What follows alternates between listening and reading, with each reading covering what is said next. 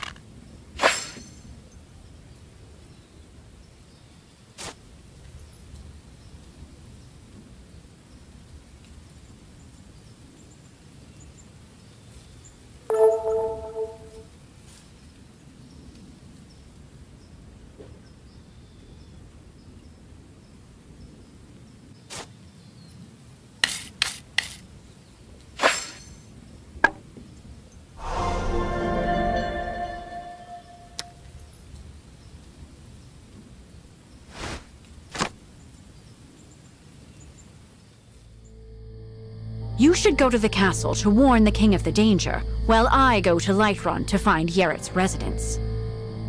Take this mirror. You'll be able to contact me with it. And this amulet. You'll have to show it to the king so that he knows who sent you. Good luck.